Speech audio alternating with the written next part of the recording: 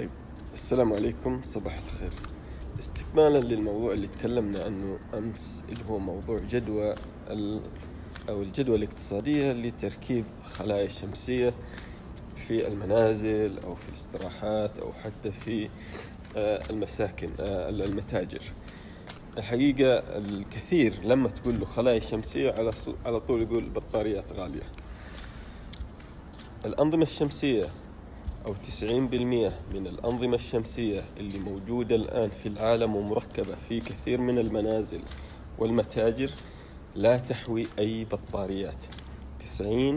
90% كلها أنظمة متصلة بالشبكة مباشرة ولا يوجد فيها أي وسيلة لتخزين الطاقة الكهربائية إلا في الشبكة الكهربائية نفسها. وهذا هو النوع اللي راح ينتشر ويصبح مجدي نعم أتفق معكم في أي نظام شمسي.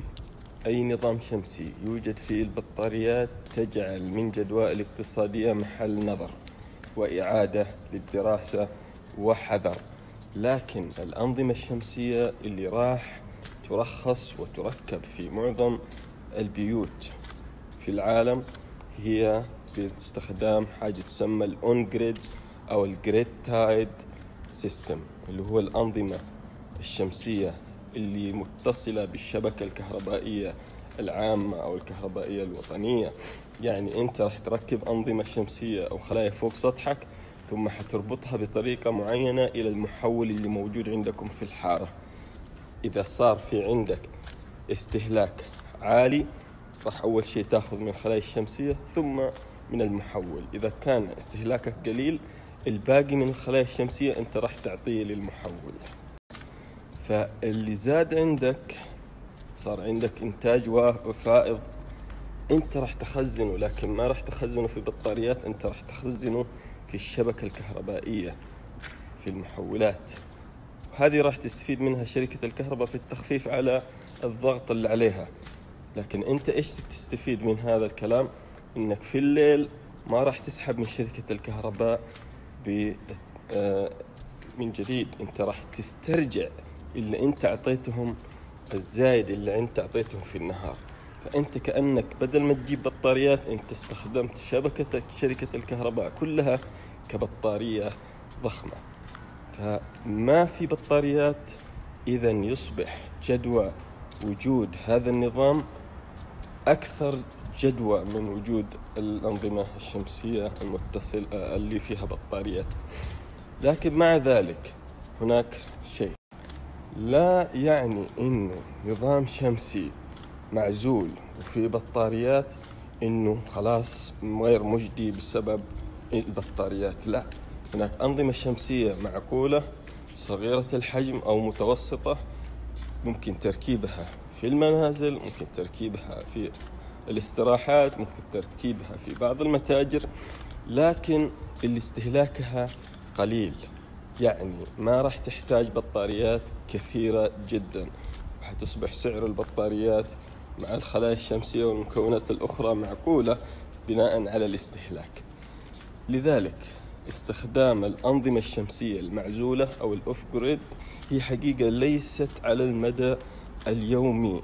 هي فقط تنفع للاستراحات للأماكن النائية للأماكن اللي ما تصلها الكهرباء إلا المضخات. فهذا نظام مختلف.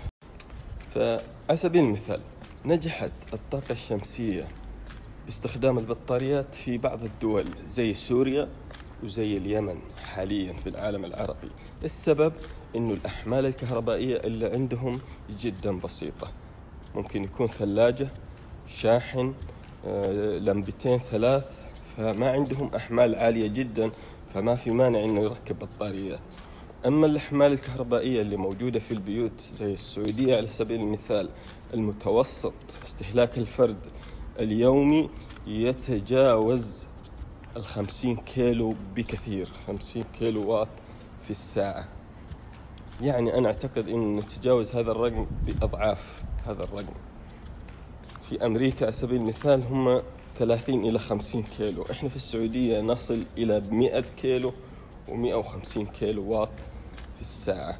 لذلك يستحيل تركيب يستحيل تركيب بطاريات كهربائية بطاريات مع خلايا شمسية في بيوتنا بسبب واحد. السبب استهلاكنا العالي. ليس فقط بسبب أن البطاريات مكلفة لا أيضا استهلاكنا في الدول الخليج في دول الخليج عالي جدا جدا جدا ولا يقارن بأي دولة. راح تقول لي والله إحنا صيفنا غير وحرنا غير وما ادري إيش. نعم بس إحنا برضو سلوكنا غير وبيوتنا تصميمها غير والأجهزة اللي عندنا للأسف جودتها غير واستهلاكها عالي جدا. ف لسنا ليس لا يوجد مقارنة ولا أنا ماني جاي هنا اقارن بين الغرب واستهلاكنا كمحلي كخليجيين. ولكن أنا أقول ان الأنظمة الشمسية ليس جميعها يوجد فيها بطاريات. على سبيل المثال كثير من المزارع الآن في المنطقة الوسطى في السعودية تعتمد على الطاقة الشمسية في استخراج المياه من الآبار من أعماق تصل إلى المئة والمئتين متر بدون بطاريات. وستجد أن المزارع مبسوط لأنه استغنى عن العداد الكهربائي المكلف أو استغنى عن شراء مولد الديزل وشراء وحرق الديزل اليومي وتكاليف اللي كان تزعجه. فهناك مضخات تعمل بالطاقة الشمسية بدون بطاريات وبسرعات متفاوتة تختلف على حسب ضوء الشمس اللي واصل لها وتقدر تنزل منها أو تطلع منها المياه لري المزروعات اللي عندك. البطاريات ليست قضية دائما البطاريات صحيح مكلفة لكنها ليست هي الهدف. ممكن نتكلم عن البطاريات على أحمال صغيرة كغرفة واحدة في بيت أو استراحة صغيرة فقط.